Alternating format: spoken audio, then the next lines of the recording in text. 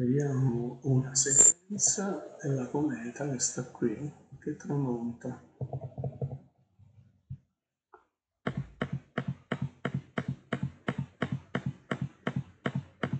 Dietro le nuvole.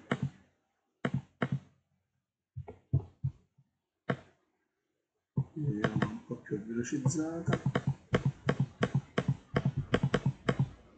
Si vede molto bene la testa e si riesce a percepire anche la coda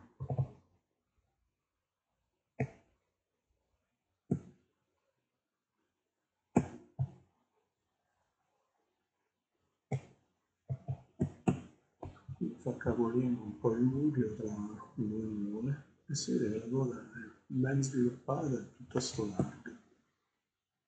Questo è esattamente come appariva nudo poi le foto professionali sono somme di queste foto una sopra l'altra prese a, distanza piuttosto ridotta permettono di vedere anche i dettagli della cura però quello è quello che si percepiva al, al binocolo. Oggi 12 ottobre alle 19 tra le 12.09 e le 18 e le 19.25 grazie per l'attenzione.